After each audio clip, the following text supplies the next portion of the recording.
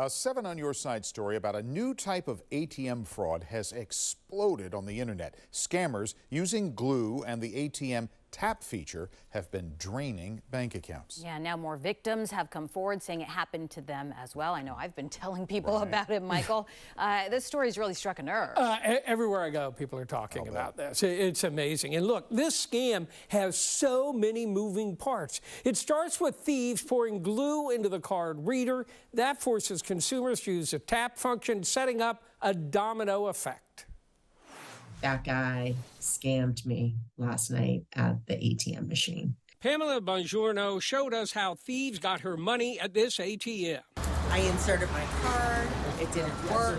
A man in line told her she could tap her card instead, and it worked. She got her cash, walked off, but the next day, a shock. Why is my account almost a $1,000 less? She found three more withdrawals on her account $940 gone. I'm like, that happened to me. Stephanie Berry was amazed to see our story about Pamela and Rob Bell. I didn't think anything of it. I thought he was just using the ATM. And Justin Sindelar. My initial reaction was, wait a second. I definitely did not withdraw that much money. All use the tap feature at this ATM all found their accounts drained after they left. I was so mad. I was like, that happened to me. I knew I should have called seven on your side when it happened. Stephanie says she tapped her phone at that ATM to withdraw $20, then hurried off because a man was lurking nearby. But I didn't know if he was being a creep or what he was doing. Seconds later, a fraud alert on her phone. Did she just withdraw $600?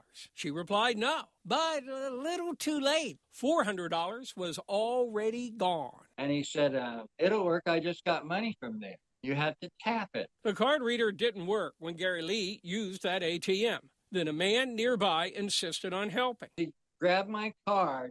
Somebody behind me said, It'll work. The stranger tapped Gary's card for him. Gary got his cash, walked off. The next day, all but $5 was gone. They put glue in the card reader of the ATM machines. The bank manager told Pamela that scammers pour glue into the slot so victims have to tap. By tapping, the transaction window stays open even after the cash comes out. So, if a customer walks off without closing the window, a thief can simply step up and make more withdrawals. Chase said customers should wait for this screen. Do you want to do something else? Click No to close out the session.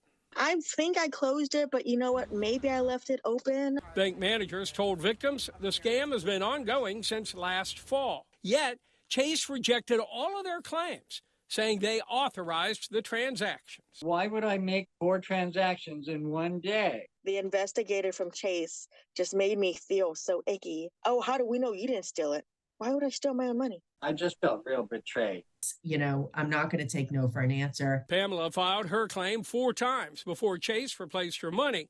But after our inquiries, the bank did refund all of the victims in this report, telling us we have credited our customers in full and are taking additional steps to protect patrons. The tap feature does require entering a PIN for each transaction, but thieves have clearly found a way to capture the PINs. Chase said cover the keypad when you enter your PIN, look for signs of any tiny cameras, and don't talk to anyone in line. If anybody's coming up to you at an ATM, they know they're not supposed to yeah. do that. Yeah. Be not very, very favor, careful. Yeah. yeah. Yeah. Thank you, Mike. Sure.